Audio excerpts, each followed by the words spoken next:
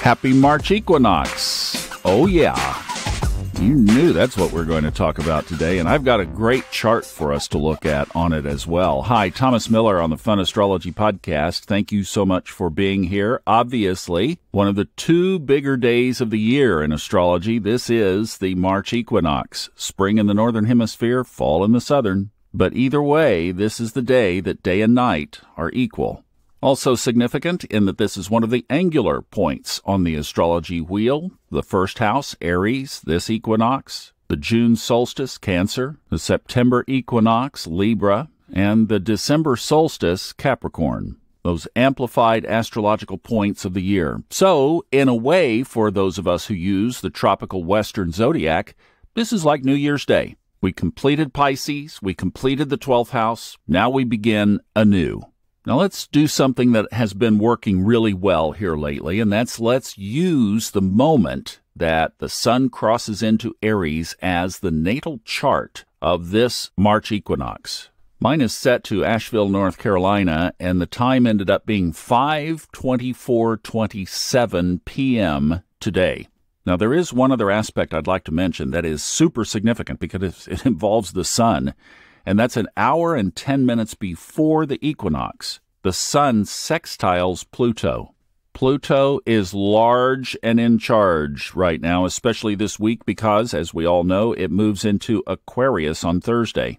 Just a reminder that we do have a new moon tomorrow, and that too will be in Aries. So, in this context of Pluto having just had an aspect with the Sun, the Sun now moves into Aries. One other, by the way, I stumbled onto something over the weekend that was phenomenal related to Pluto moving into Aquarius, and we'll talk about that tomorrow. It's going to kind of blow your blow your mind a little bit, I think. Make sure to catch tomorrow's podcast. So my 5:24:27 p.m. Asheville, North Carolina chart is a 2 degree Virgo rising.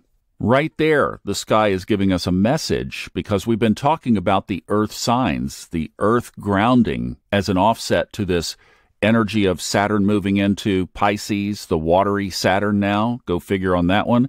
And then Pluto moving into Aquarius on Thursday, that air energy, the offset to that. Even the sun moving into Aries now. We could talk about grounding, the practicality of Virgo. But you're going to see a theme unfolding here, and the Virgo desire to have everything in order, I think, is a big piece of this theme. So it starts right there with the rising sign. We want to take a look at our lives and see what may not be in order. What have we put off? What have we not resolved? And it's going to be safe. It's going to be okay. It's going to be encouraged by the energies of the universe to help us shore those areas up if we will dare to look at them. Because this equinox takes place on the cusp of the eighth house, which is ruled by Scorpio, something that I happen to be an expert with. And one of the things about Scorpio is it's okay to go deep into the closet. It's okay to bring up the bones. And actually, we have Chiron and Jupiter in the eighth house, in, in the middle degrees of Aries. Do you see how this theme is building?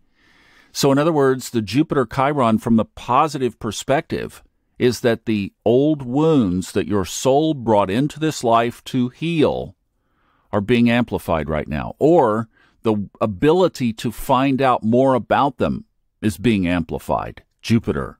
I've been experiencing this. Whole new perspective on the Chiron wounds in my life came just over the last week.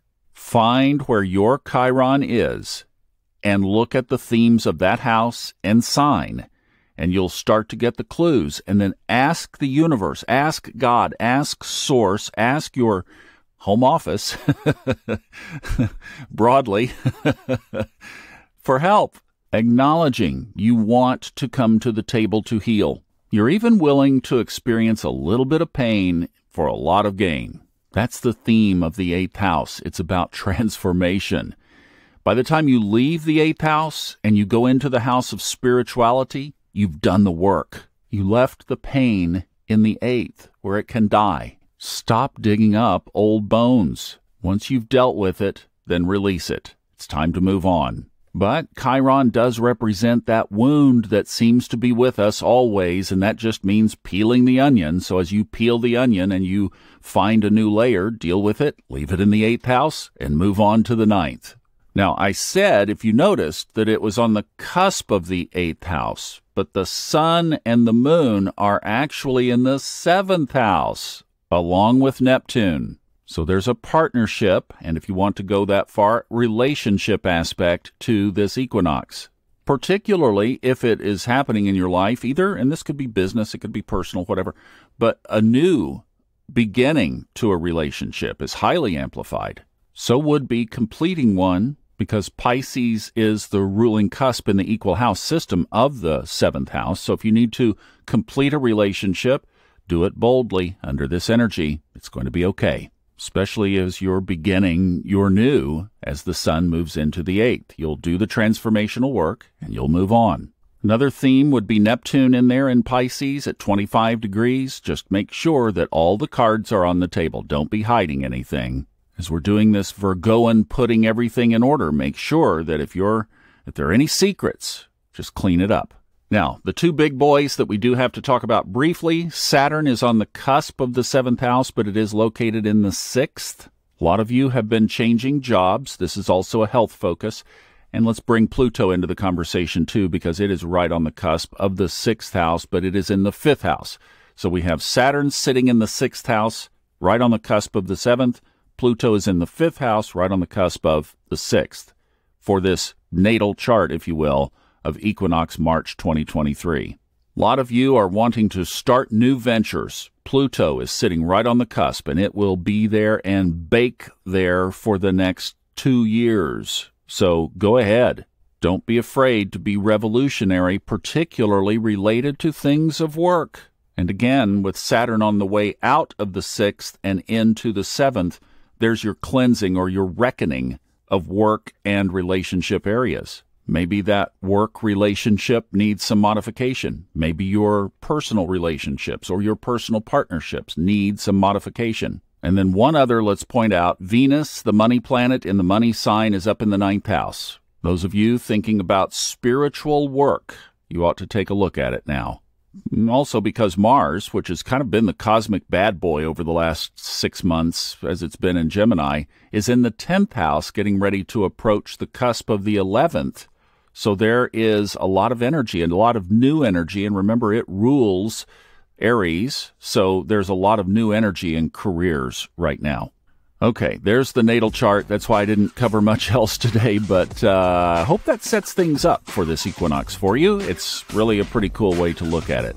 Now, we will pull the spotlight back on Pluto as it moves into Aquarius and look at some stuff that I think you're going to be going, wow. Do that tomorrow. Have a great day.